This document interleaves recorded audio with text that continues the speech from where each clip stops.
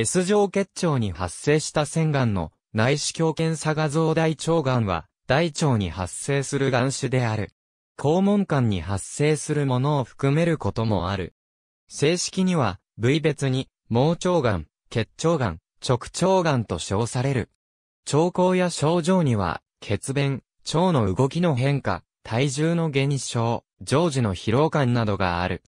ほとんどの結腸直腸がんは老年及び生活習慣の要因によるもので、遺伝的疾患による症例はごくわずかである。他のリスク因子には、食事、肥満、喫煙、運動不足などがある。リスクを増大させる食事は赤新肉、加工肉、アルコールなどである。他のリスク因子には、炎症性腸疾患があり、クローン病及び潰瘍性大腸炎を含む。遺伝性疾患として、原因となり得るものは、家族性大腸選手症、遺伝性ヒポリポーシス大腸がんであるが、これらは5%未満である。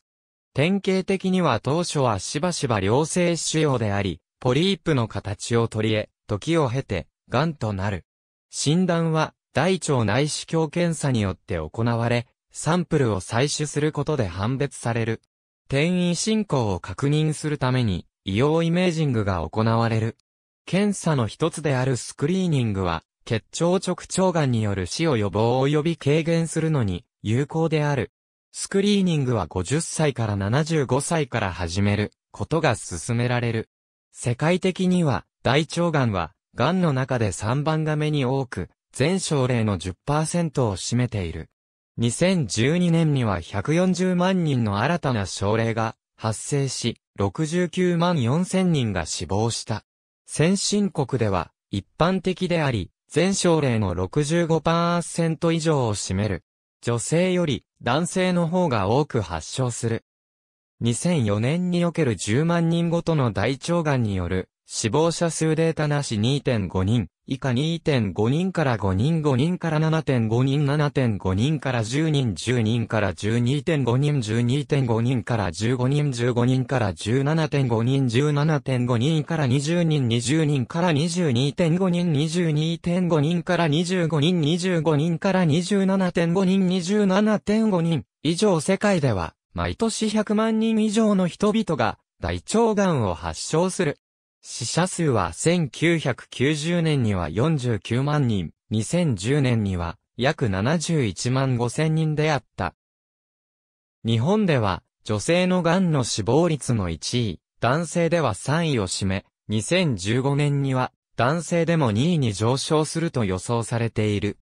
アメリカ合衆国においては3番目に多い癌で、癌死の原因として2番目に多く、生涯に大腸がんに罹患する確率は約7%である。日本でも胃がんを追い越し肺がんに次いで2番目に多くなっている。一般に早期大腸がんであれば自覚症状はなく、健康診断や人間ドックで発見される。症状が全く現れない場合も少なくない。進行大腸がんでも監修度が1、4以下ならば症状はほとんどない。1、2週を超えると、腸内容の通過障害を起こす場合がある。左側結腸に存在すると、便通異常、腹痛、腹部膨満感などがあり、血便を伴うこともある。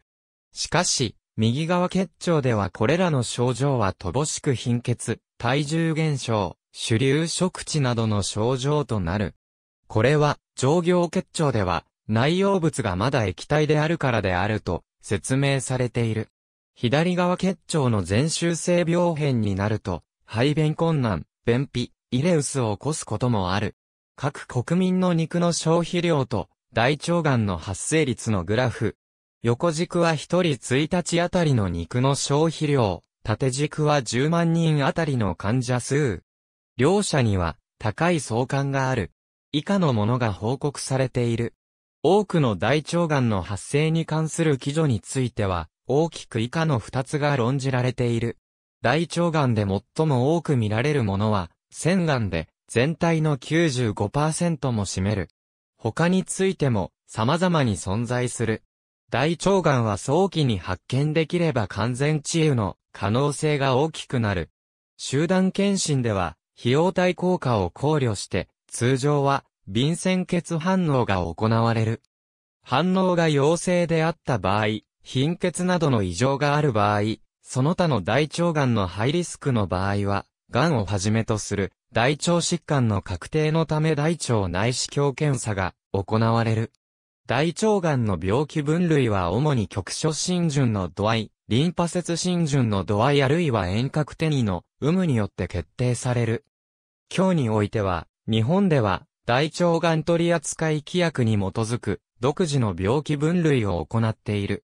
国際的には TNM 分類が病気分類に使用される。あるいは医者によっては、以前から使用されていたデューク分類を使用する者もいる。U の TNM 分類の定義を次に示す。例えば患者が癌に罹患していなければ T0N0M0 となる。まずは肉眼的分類として以下がある。という分類がある。これは胃がんの分類と全く同じである。大腸がん取扱規約によると壁浸達度が TNM 分類より、はるかに細かくなる。大腸腺がんの病理写真蒸気以外の有名な分類を挙げる。どの分類を用いるか悩むときはなぜ分類するのかを考える。結局、治療の選択をしたいことが多いので自分がベストと思う治療法を選択する根拠となる分類を用いればよい。なお腸壁とは固有筋層までのことである。他の癌の治療と同様に、治療方針は、癌の病気によって変わってくる。主に以下に挙げられる治療を、修学的に行っていく。また、近年では、臨床診断が進み、大腸ポリープ、大腸癌を含めて、大腸腫瘍として一括に取り扱うことで評価、治療を行っていく。本校では大腸癌について、主に記述。主に大腸ポリープ、早期大腸がんに対し、内視鏡を用いて、EMR-ESD によって、病変切除による根治治療が施行される。内視鏡治療は、原発層の切除は可能であるが、リンパ節覚醒は、外科的手術でしか行えないため、リンパ節転移のないと思われる病変に対し、選択される。旧来より、外科手術による、癌病変切除、リンパ節覚醒は、根治術の根幹である。個々の術式に関しては、消化器外科学参照。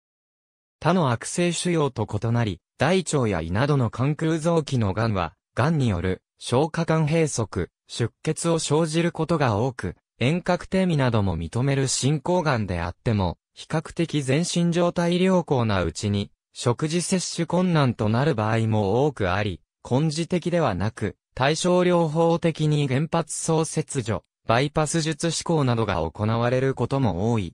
術後病気ステージ3以上の症例には、再発予防のために6ヶ月間の術後補助化学療法が実施される。フッカピリミジン系薬剤とオキサリプラチンの併用療法が推奨されているが、フッカピリミジン系薬剤単剤も選択肢となる。術後病気ステージ2の場合は、再発高リスク症例に対して、同様の術後補助化学療法が検討される。根治切除不能な進行再発大腸がんでは、基本的に抗がん剤分子標的治療薬という、組み合わせの治療が適用とされている。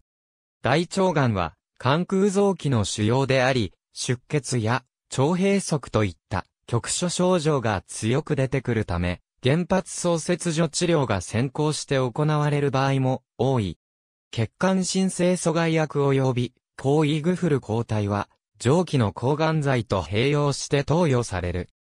RAS 及びブラフ変異の有無、一時治療か二次治療か、原発素が左側か右側か、毒性プロファイルの違いなどからどちらの薬剤を併用するか検討される。併用薬剤として、ベバシズマブとセツキシマブを比較した試験のサブグループ解析において、左側の場合はセツキシマブ、右側の場合はベバシズマブが優れた成績であった。またブラフ変異陽性例の二次治療として、エンコラフェニブメク阻害薬抗イーグフル抗体の併用療法の有効性が報告された。免疫療法大腸癌には、マイクロサテライト不安定性陽性症例がおり、そのような症例には、免疫療法が二次治療以降で行われる。特に直腸癌においては、原発主要層の縮小効果が大きく、手術での肛門機能温存も期待できるため、第一選択として、術前照射が広く行われている。ありがとうございます。